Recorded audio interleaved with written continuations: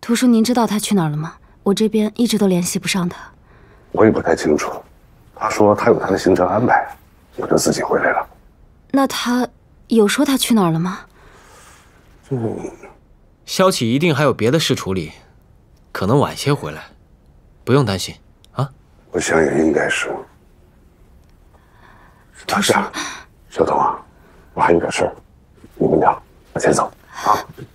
慢走，图叔。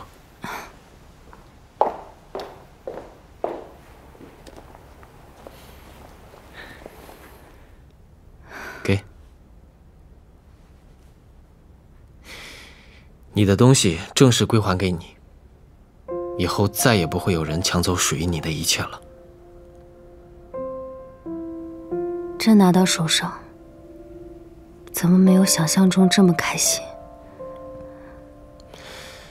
最爱我的外公走了，也带走了那个曾经的蒋彤。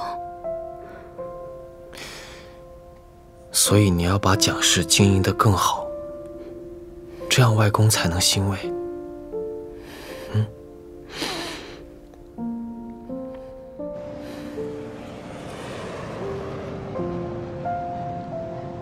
彤彤，当你收到这张明信片的时候，我们应该都已经开启新的生活了。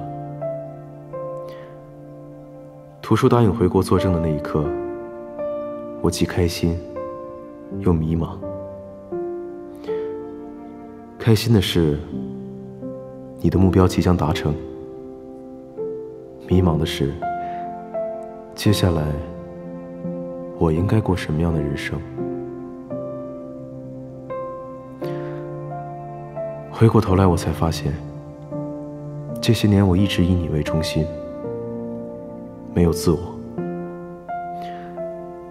不过没关系，我马上就要有自己的路要走了，不用挂念我。以后我每到一个地方，都会给你寄明信片的，见字如面。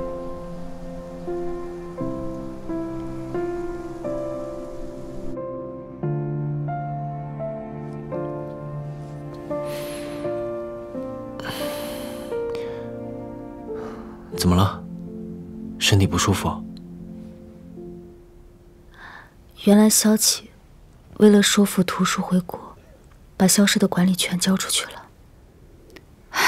他也不接我的电话，人也不回来。啊，萧启啊，他可能是想在国外多待一段时间吧。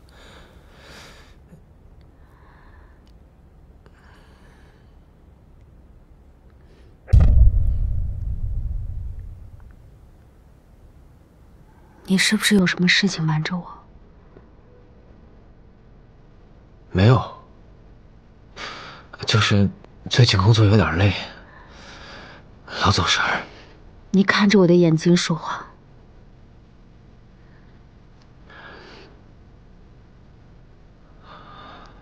是萧琪，出什么事儿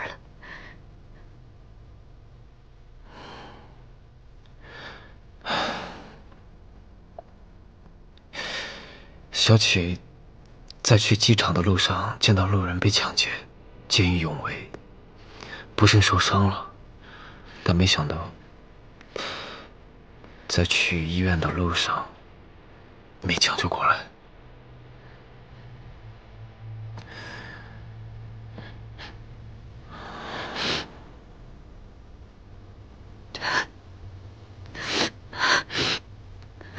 不是，你现在编这种故事。有什么意义吗？事情发生的太突然，我也不相信它是真的。但是事实，它就是事实。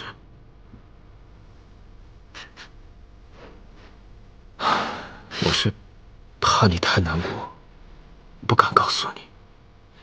但是我也不能这么一直骗你啊！我不信，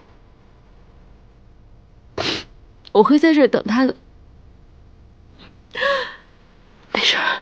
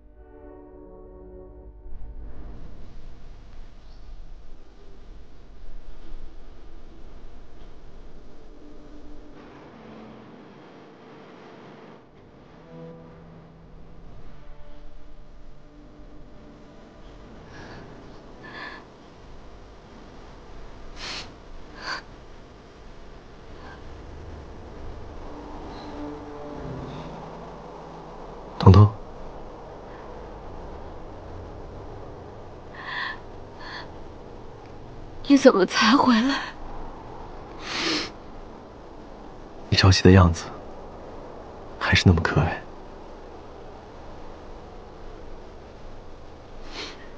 你已经为外公守住了蒋氏，真替你开心。现在，你终于可以开始你的新生活了。